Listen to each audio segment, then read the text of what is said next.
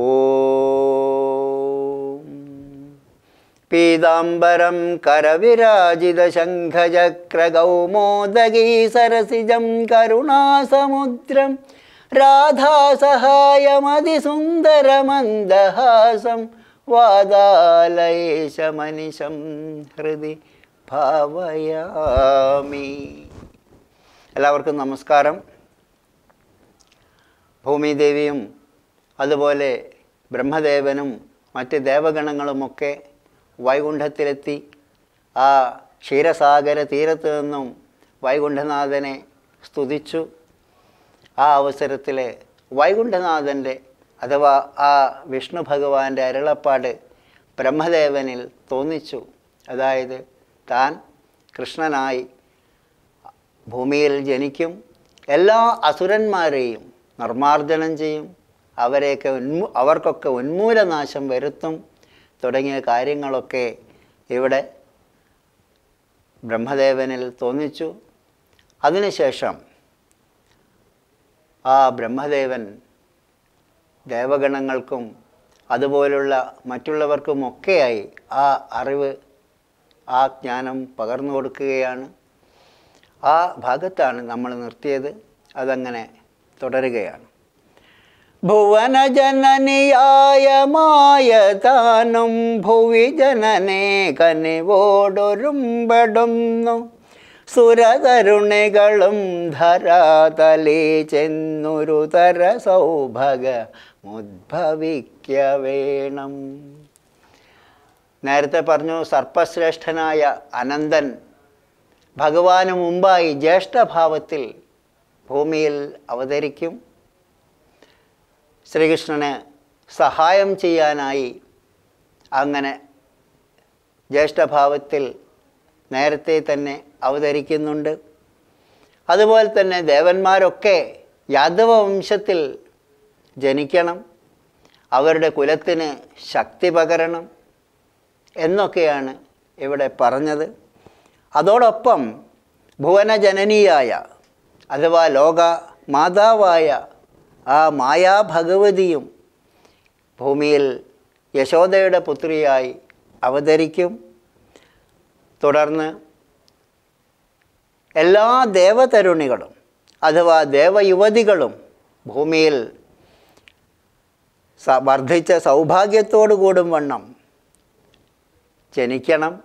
അങ്ങനെ ഈ ഉന്മൂലനാശം വരുത്താൻ രാക്ഷസന്മാർക്കും അഥവാ അഥവാ അസുരന്മാർക്കുമൊക്കെ ഉന്മൂലനാശം വരുത്താൻ എല്ലാവരും തന്നെ ഭൂമിയിൽ പിറക്കണം എന്ന് ബ്രഹ്മാവ് അവരെ അറിയിക്കുകയാണ്.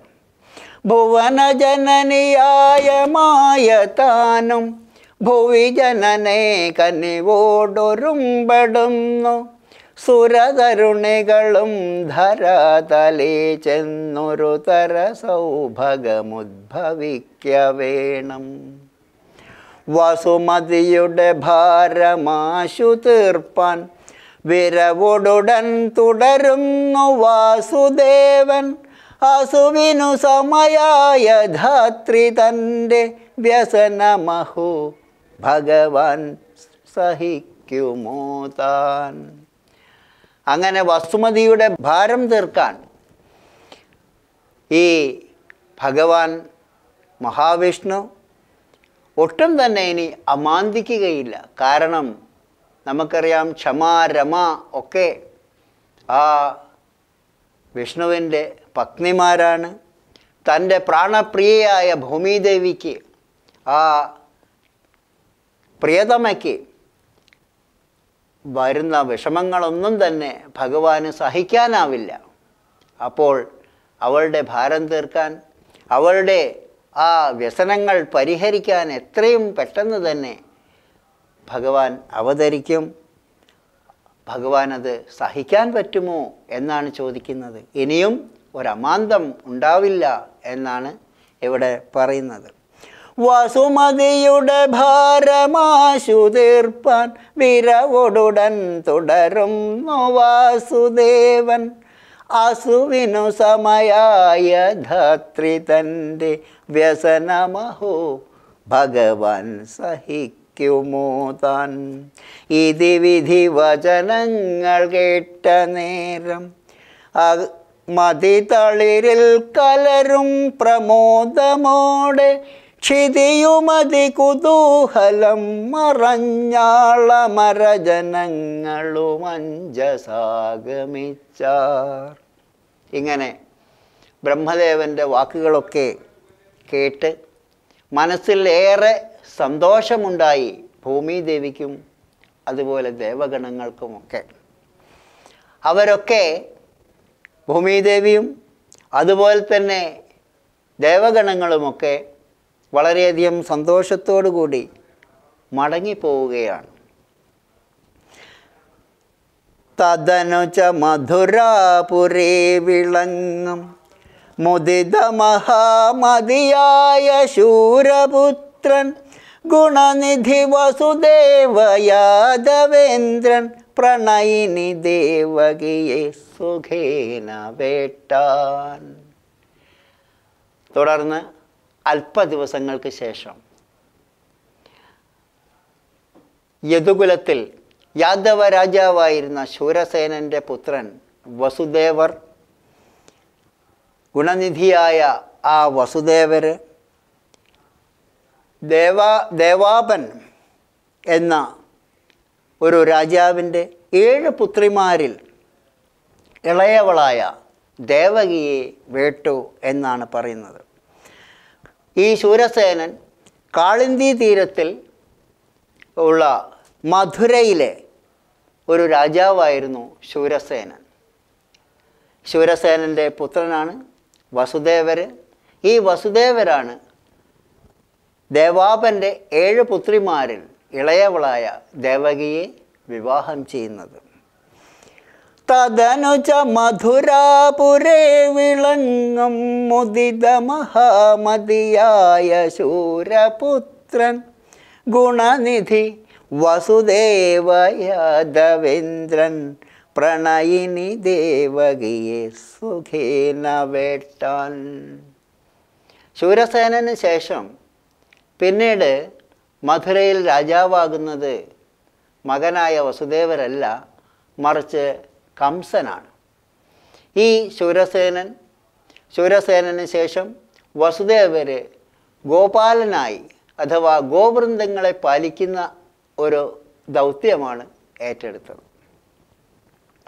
നവജലധര ചാരുവേണിയാളാം അവളുടെ അഗ്രജനുഗ്രസേന പുത്രൻ പൃഥുതര ഭുജശാലി ഭോജരാജൻ പ്രഥിത മഹാജനകംബകാരി കംസൻ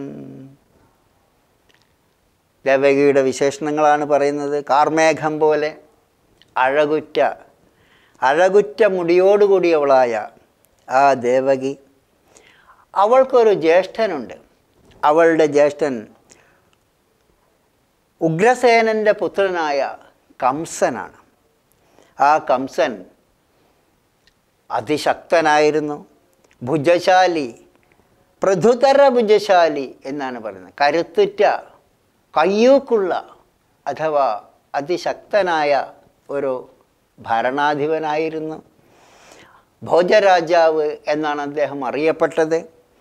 ആ അറി അദ്ദേഹം മറ്റ് ശക്തന്മാരായ പലരെയും ഭയപ്പെടുത്തിക്കൊണ്ടാണ് അവിടെ അങ്ങനെ വിരാജിച്ചത് എന്ന് പറയാണ്.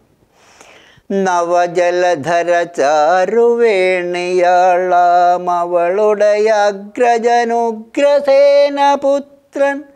പുത്രൻ പൃഥുതര ഭുജശാലി ഭോജരാജൻ പ്രഥിത മഹാജനകംബകാരി കംസൻ ആ കംസൻ അങ്ങനെ രാജാവായി അങ്ങനെ തുടരവെയാണ്.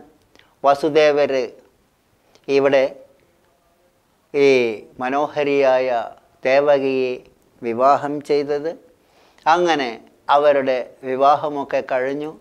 ദേവകിയുടെ ആ ജ്യേഷ്ഠനായ ആ കംസനുമൊക്കെയായി അങ്ങനെ വളരെയധികം സന്തോഷപൂർവം വസിക്കുന്ന കാലത്താണ് മറ്റൊരു പ്രത്യേകത സംഭവം ഉണ്ടാവുന്നത് അത് നമുക്ക് അടുത്ത ദിവസം കേൾക്കാം